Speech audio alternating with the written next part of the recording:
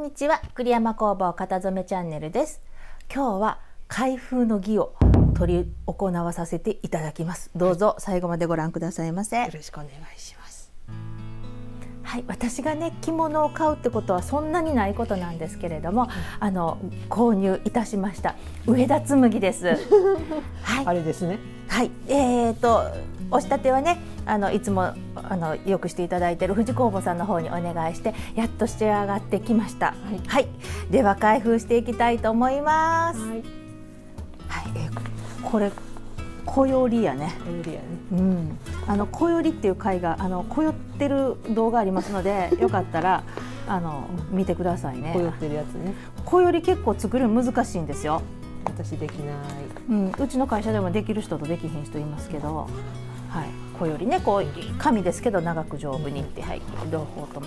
これくくれへんのよねこの後同じように、えうー、ん、でも開けっぱなしの方がいい。おはい。では何が出てくるでしょうか？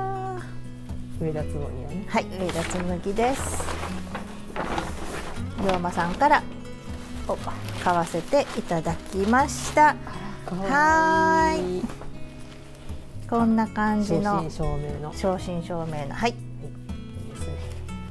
本当に今開封したもんね。そう。だからもうしつけついたまま。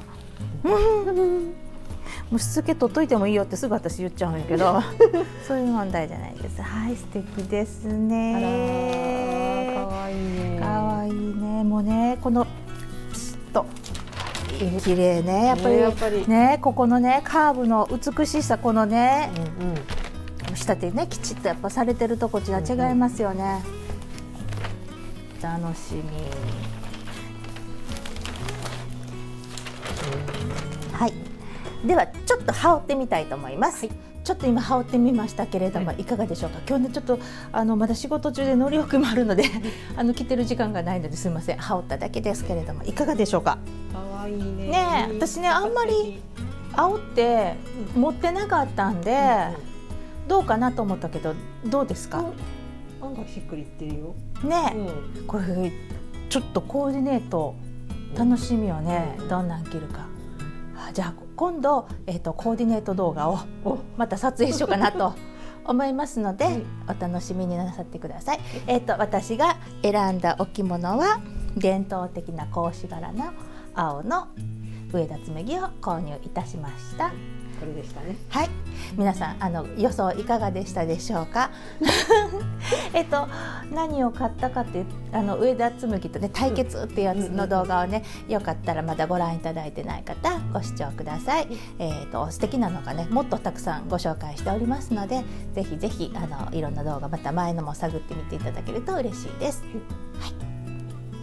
栗山工房型染めチャンネルは、えー技法の動画であったりとか関連のやっぱり皆さんとこう連携で出来上がってる様子をご紹介したりとかあと作品もご覧いただいたりしてるチャンネルになります。えー、だいたい、えー木曜日の9時から配信の分はチャットでのあの会話を楽しむこともしておりますのでぜひぜひご参加いただきますようお願いします。そして、えーとたまに気が向いたら、あの短い動画も配信していきますので、ぜひチャンネル登録していただいて見つけていただきますようよろしくお願いします。またはい違う動画でお会いしましょう。ありがとうございました。さようなら。さようなら